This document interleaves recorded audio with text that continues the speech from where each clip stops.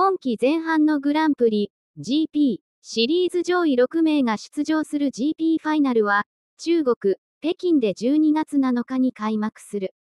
今季も日本女子は検討しており、坂本花井、吉田ひな、住吉リオンの3名が進出した。画像、優勝候補の坂本香織、世界フィギュアで見せた圧巻の演技を振り返る。世界選手権2連覇中の坂本香織は、今季も世界を牽引している。GP 第2戦スケートカナダ、第5戦フィンランド大会を連勝し、知力の高さを見せてファイナル進出を決めた。10月のスケートカナダでマークした合計226.13点は、現状での今季世界最高点だ。フィンランド大会のショートでは3回転を予定していたフリップが2回転になるも、後ろにきっちり3回転トーループをつけ、無得点になる事態を防いだ。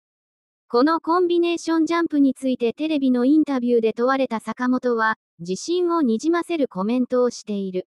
練習でも、よくあることなので、練習でしっかり後にトリプルトーループをつける練習をしていたので、それがこの結果になったのかなと思う。こうなるかもしれないという予測をしてやってきて、逆に良かったなと思いました。坂本の強さが質の高い練習で培われていることを改めて感じさせる言葉だった。メンタル面で苦しんでいた昨季前半と違い、今季の坂本は GP シリーズから前向きに臨んでいる。強いて懸念事項を挙げるとすれば、8月から続いているという右側溝の痛みか。体調面の問題なく本来の滑りを見せることができれば、坂本がファイナルを制する可能性は高い。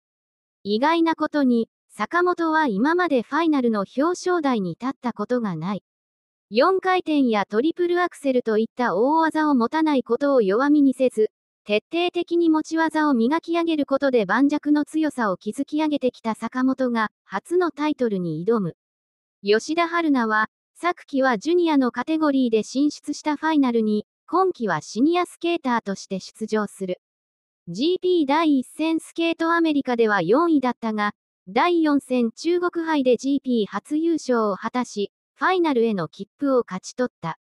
昨季ジュニア GP イタリア大会で成功させたトリプルアクセルに、吉田はシニアに上がった今季も、フリーだけではなくショートでも果敢に挑み続けている。今季 GP ではまだトリプルアクセルを決めていないが、ファイナル進出は大技がなくとも勝ち切る力を持つことの証明でもある。大舞台でトリプルアクセルを決められれば、シニアデビューシーズンで大きな自信を得るだろう。シニアデビューにシーズン目で初のファイナル進出を果たした住吉リオンの武器は、4回転トーループだ。1年以上挑み続けてきた4回転トーループを GP 第3戦フランス杯のフリーでついに成功させ、総合3位に入った。テレビのインタビューで、採点上でも4回転トーループの成功が認められたことを聞かされた住吉は、涙ながらに喜びの言葉を口にしている。本当に頑張ってきてよかったなと思うし、これからも自分の武器にできるようにしたい。住吉は第5戦フィンランド大会のフリーでも4回転トーループに挑んでおり、着氷が乱れ回転不足となるも降りている。他のジャンプでもミスが出たものの後半立て直す強さを発揮し、総合2位に食い込んだ粘りがファイナル進出につながった。伸びのあるスケーティングや美しい所作も持つ住吉には、初の大舞台でも気遅れすることなく力を出し切る演技を期待したい。今季220点を超える合計点をマークしているのは、坂本と昨季ファイナル銅メダリストのルナ・ヘンドリックス、ベルギーだけだ。